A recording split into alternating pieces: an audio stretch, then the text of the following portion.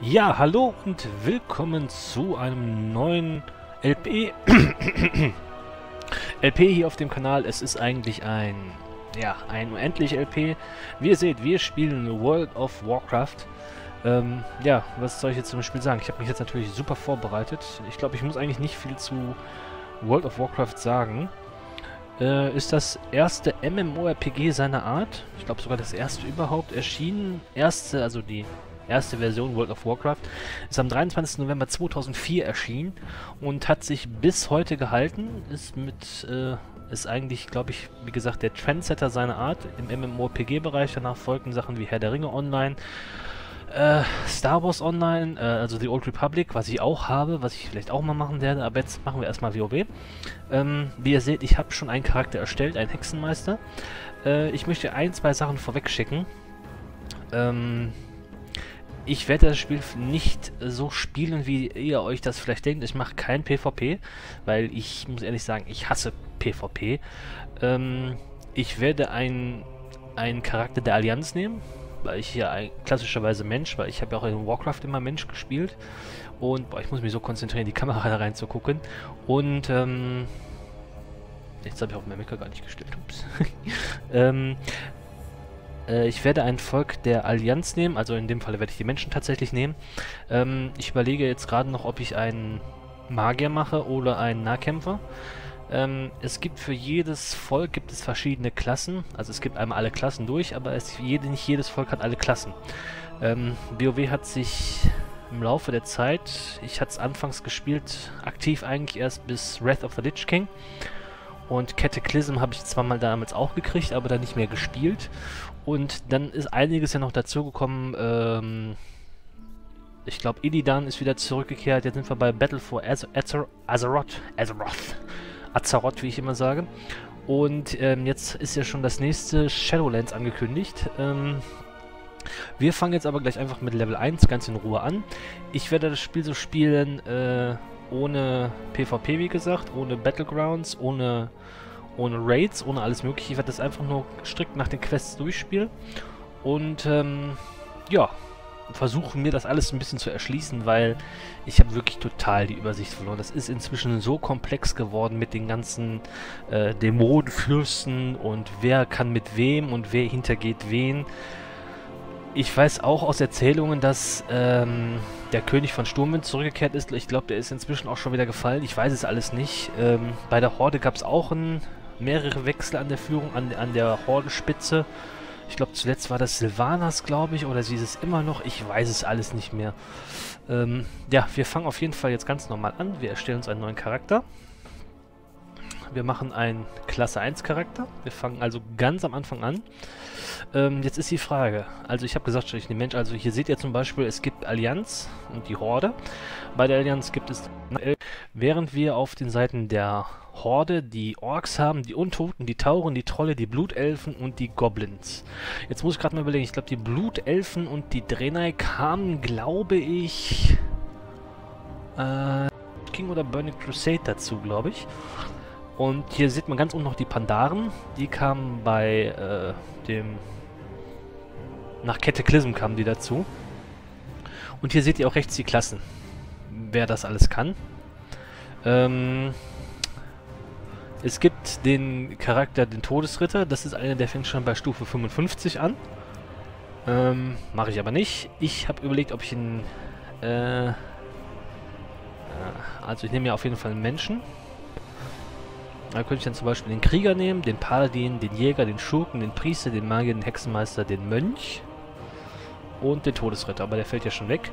Also ich mache jemanden, der äh, Distanzschaden, Distanzschaden ich bin jetzt überlegen, ob ich einen Paladin nehme oder einen Krieger. Krieger sind Kämpfer in Plattenrüstungen, die nach Perfektion im bewaffneten Kampf streben. Im Gefecht erzeugen sie Wut, die für ihre Spezialangriffe genutzt wird. Paladine sind schwer gerüstete Kämpfer, die Heilmagie verwenden, interessiert mich nicht, um Wunden zu heilen und das Böse zu bekämpfen. Sie können sich, sie können sich auf die Nutzung von Zweihandwaffen, Schilden oder Heilung spezialisieren. Dann nehmen wir den Krieger eindeutig. Dann können wir den jetzt ein bisschen anpassen. Äh, Gott. Was es alle gibt, ey. Ja, nehmen wir so ein... Ne, keine Ahnung. Ich weiß es doch nicht. Gesicht. Mir gefällt dein Gesicht nicht. Ich weiß gar nicht, ob es, ob das früher auch schon... Machen wir erstmal die Haarfarbe. Machen wir so wie ich bin. Ich bin ja so eher rot-blond. Ah, nehmen wir hier den knallroten. Und Bart. Äh, ohne Bart. Sieht voll komisch aus, Mann, ohne Bart. Ich meine, das ist bei mir wahrscheinlich einfach so gewohnt, weil ich jetzt so lange schon den Bart habe. Hm. So, die Frisur. Ich habe Glatze. So. Sieht aus wie Seamus.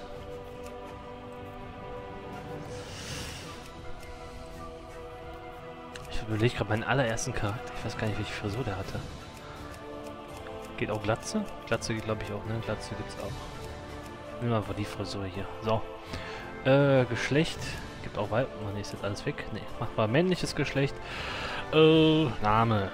Schronist. Mal gucken, ob der den schluckt. Jawohl. Hat er genommen. Und ich würde sagen, äh, wir betreten dann den Real. Also quasi den Server. Ich kann euch das ja mal zeigen. Das ist ein... Es gibt bei WoW seit Battle for Azeroth, glaube ich, gibt es kein PvP mehr, sondern nur PvE. PvE hat, heißt, heißt Spieler gegen Players versus, versus, versus Environment. Also Spieler gegen Natur. Das heißt, es kann kein anderer Spieler kann mich angreifen. Es gibt aber gewisse ähm, POP, P, POP, genau, PvP-Schlachtfelder, glaube ich. Die gab es damals auch schon. Ach, egal. Auf jeden Fall könnt ihr da gegeneinander spielen. Das machen wir ja nicht. Und wir betreten jetzt die Welt. Und dann gibt es jetzt auch gleich eine kleine Story-Einführung.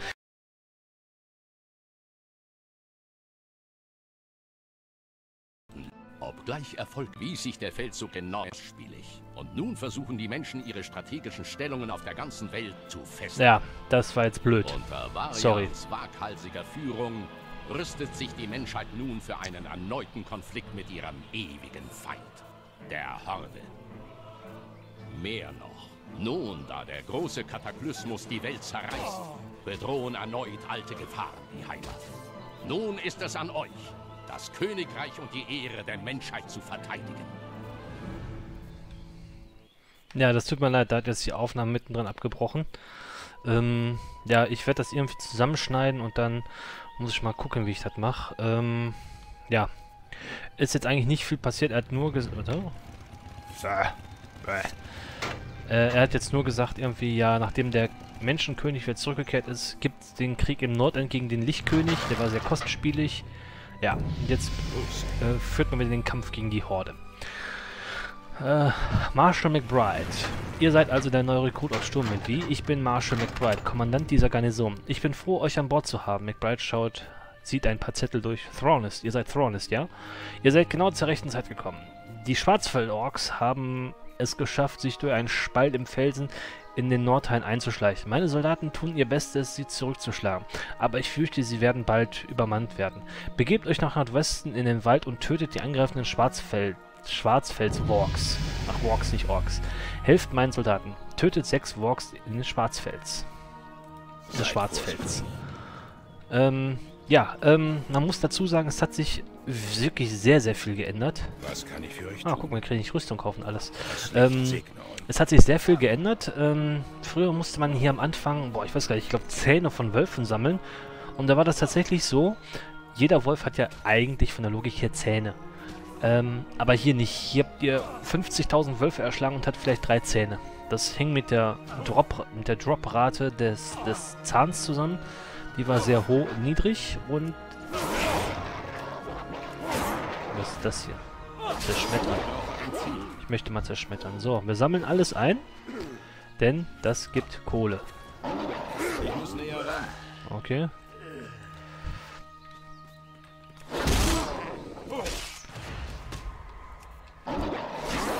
Also mit dem Krieger habe ich noch überhaupt keine Erfahrung. Ähm, weil ich eigentlich immer so der Distanzkämpfer bin. So töt, warum greift er denn immer so, so wenig an? Warum greift er so langsam an? Ich verstehe das nicht. So. Äh, wie viel haben wir jetzt? 4 von 6. Also, ich, äh, ich verstehe das halt noch nicht so wirklich mit den... So, das ist Wut. Dann brauchen wir, unsere Spezialattacken auszuführen. Äh, zerschmettert einen Gegner und fügt ihm 15 körperlichen Schaden zu. Ah, okay. Komm her. Ah, der greift auch normal an. Okay, das muss man offenbar nicht immer drücken, so wie ich das jetzt verstehe. Ähm, wie gesagt, also beim Hexenmeister oder bei den Magiern ist es immer so, man muss immer die Angriffsknopf drücken. Hier muss ich das offenbar nicht. Aber ich bin ein Laie, was Nahkämpfer angeht. Ehre dem König. So, Walk. Äh, ihr habt uns ein wenig Zeit verschafft, Thrawnest, aber wir haben jetzt noch ein größeres Problem, um das wir uns kümmern müssen. Die einfallenden Orks sind keine Narren. Sie schätzen uns ab, stellen sicher, dass ihre Angriffe zu ihrem Vorteil sein werden. Im Wald nordwestlich von hier lauern Spione der Schwarzfels-Orks.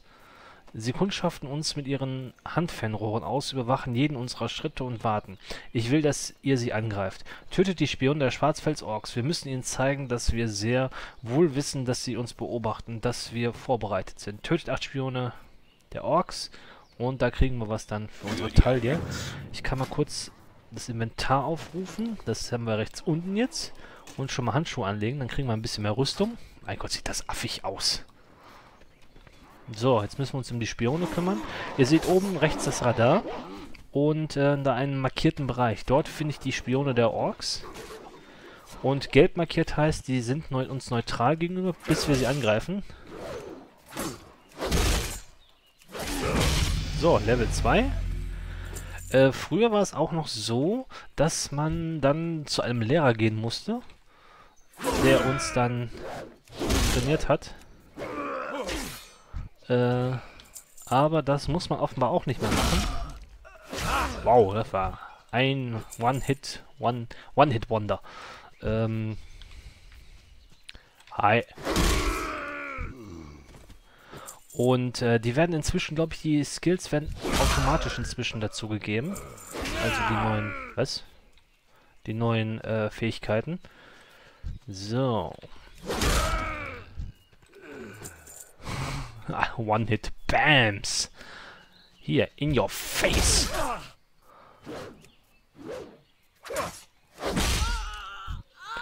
Kann das sein, dass man echt den, auf den Angriff quasi verzichtet? So. Gut, dann gehen wir die Quest auch direkt zurück. Ähm, ich weiß gar nicht, ich werde mal so, glaube ich, 20 Minuten Parts machen, ungefähr so 21 Minuten.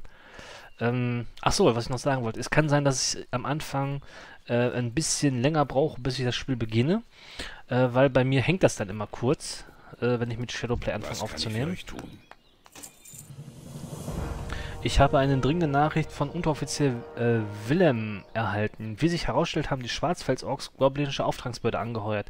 Sie haben unser Bataillon hinter dem Abteil aus dem Hinterhalt eingegriffen. Willem bat mich, ihm einen Helden zu schicken. Ihr müsst ihm helfen, Thrawnest.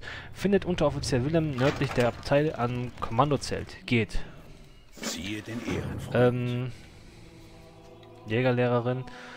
Ähm, ah, hier sind die, hier sind nämlich die Lehrer. Achso, ich kann das mal eben anlegen. Haben wir ein bisschen mehr Rüstung. Kann ich euch helfen? Die Dunkelheit umgibt euch, nicht Krieger. Hört auf mit dem Geschwätz, geht aus, aus den Augen hinfort mit Man euch. So. Mehr Arbeit? Die haben sich einfach hier auch der äh, Sound äh, des, der Tonspuren aus der Warcraft 3 bedient. Äh, das kam noch vor, äh, das kam noch während Warcraft 3 raus, noch vor StarCraft 2 kam das raus. Glaube ich. Weiß ich gar nicht mehr. So, da ist der Unteroffizier. Geht's? Habt ihr jemals einen Goblin gesehen, Thrawnest? Diese jämmerlichen kleinen grünhäutigen Monster mögen nur zwei Dinge, Geld und sich selbst. Die Schwarzfels-Orks haben sich goblinische Auftragsmörder zu Hilfe geholt, die unsere Soldaten töten sollen. Wenn ihr zum Feld im Norden blickt, könnt ihr schwach die Umre Umriss erkennen.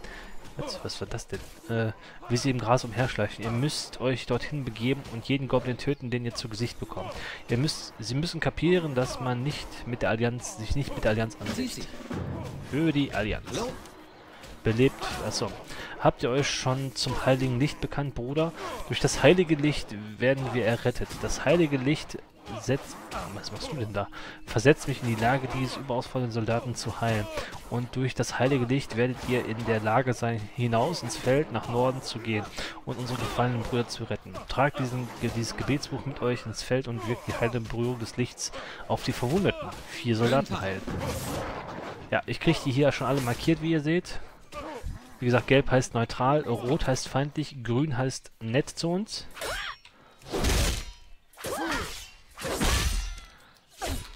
So, zack. Dann heilen wir den einmal. He-Man! so, stirb Kartoffel! Stirb Kartoffel!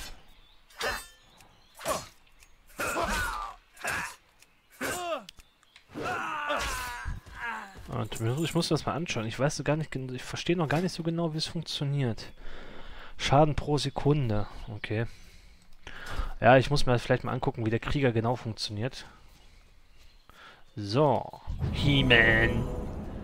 Stirb. Ah, es juckt. Stirb. So, zack. Dann metzeln wir uns einmal hier durch. Ich werde nicht fürs Plaudern. He-Man. So, da haben wir jetzt die dritte, den, die dritte Fähigkeit dazu gekriegt. Sturmangriff. Muss man, glaube ich, ein bisschen weiter weggehen, oder? Ja, genau.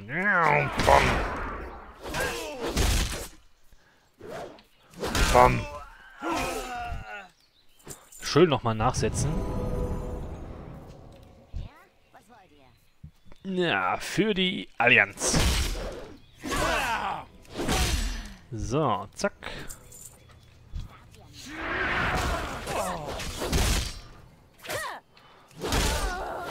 Wow, was war das denn? Ah, das war ein Magier. Okay, dann müssen wir noch einen hier erledigen.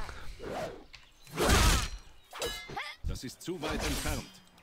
So, dann können wir die zwei Quests abgeben. Und dann sind wir jetzt hier auch schon wieder ein Stück weiter. Da, da, da, da, da. Was ist das denn da hinten? Der ist uns Gug Fettkerze. Die haben alle lustige Namen hier. Braucht ihr etwas? Ich glaube, ihr versteht nun, äh, gesegnet sei das Licht. Mögen eure Reisen So. Ah, ich bin aus Star Wars gewohnt, dass ich mit ihm mein Inventar aufmache. Das mache ich aber gar nicht hier. So, Weste des Wolfsjägers. So, haben wir schon mal ein bisschen Rüstung. Hallo! Hallo! Meldet euch bei Marshall McBride vor der Abtei des von Nordheim im Wald von Elvin. Ausgezeichnete Arbeit, Thrawn ist. Sie werden uns definitiv nicht mehr in den Rücken fallen. Wir kümmern uns um den Nachzügler. Ich will, dass ihr zurück zu Marshall McBride geht, der südlich von hier äh, vor der Abtei Nordheim steht. Lasst ihm wissen, dass die Situation mit den Goblins unter Kontrolle ist. Jawohl. So, die legen wir auch direkt an. Im Laufen, Schuhe wechseln, finde ich gut. Äh, was ist für uns das primäre Attribut? Verstärkt Angriffe, ich glaube Ausdauer. Na egal. Ich will auf Damage eigentlich gehen. Dank eurer Hilfe ist es uns gelungen, die nördlichen und westlichen Abschnitte des Nordhands zu sichern. Dennoch gibt es im Osten immer noch ziemlich große Ansammlungen von Schwarzfelsorks und sie haben damit begonnen, den Wald niederzubrennen. Bringt acht Waffen der Orks des Schwarzwaldclans an euch. Die Orks haben begonnen, den Wald niederzubrennen, Thrawnest. Sie haben den Weilberg im Osten übernommen und planen ihren Entscheidungsangriff auf uns. Sie müssen aufgehalten werden. Geht nach Osten, überquert den Fluss und tötet die wild gewordenen Orks des Schwarzfels-Clans. Sammelt als Beweis ihres Ablebens äh, ihre Waffen ein und kehrt zu mir zurück. Seid vorsichtig. So, hier hat jetzt nämlich noch jemand eine Quest. Hallo. Das nehmen wir direkt mit. Schönen Tag auch. Die möchte jetzt, dass wir den, äh, achso, ich kann das nicht mehr vorlesen. äh, die Hoffnung ersticken. Tage wie diese, an Tagen wie diesen, lassen mich die Zeiten zurücksehen, in denen die Defias noch da waren. Der Kataklysmus hat einen Weg aus der brennenden Steppe geöffnet und jetzt überlaufen Schwarzfelsorks in Nordhaintal. Das, Nordhain, das.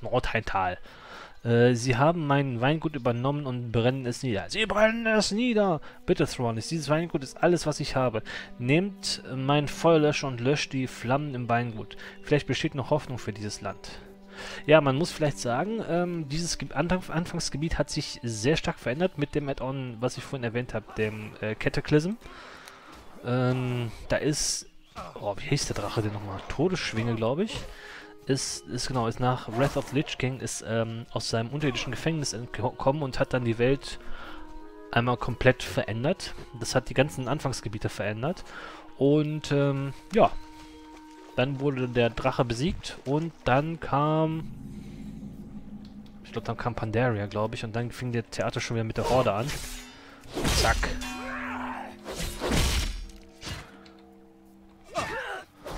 Zack. So, dann haben wir die ersten Waffen gesammelt. Ich bin außer Reichweite.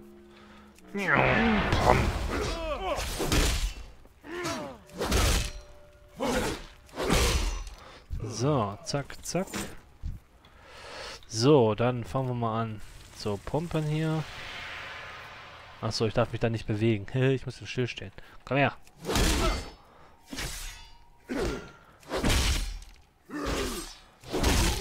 So, zack, zack, zack.